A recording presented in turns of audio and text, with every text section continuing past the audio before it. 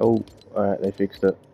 We got Lorenzo destroyed. Jesus Christ, 1,200 for the pickaxe. That is crazy. That's heaps.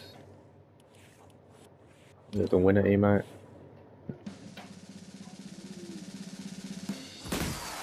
That's cool. Alright, then we get, we get the Loki stuff. Swear that isn't there. I don't know. Alright, that's cool. We got the FNCS pickaxe. That's so expensive though. That's like, uh, you have to buy like, like nearly 30 bucks for a pickaxe. Bro, and you can't even get, at least these are a thousand, you can't even get a bundle, that's stupid as. Anyway, everything else is the same. Oh, you got Marshmello. Octane. Octane, what? Ah, okay. The marsh book, the Marshmello stuff. Uh, nothing else is new except this guy here. Anyway, thank you guys for watching. Bye. I still think this is way too expensive.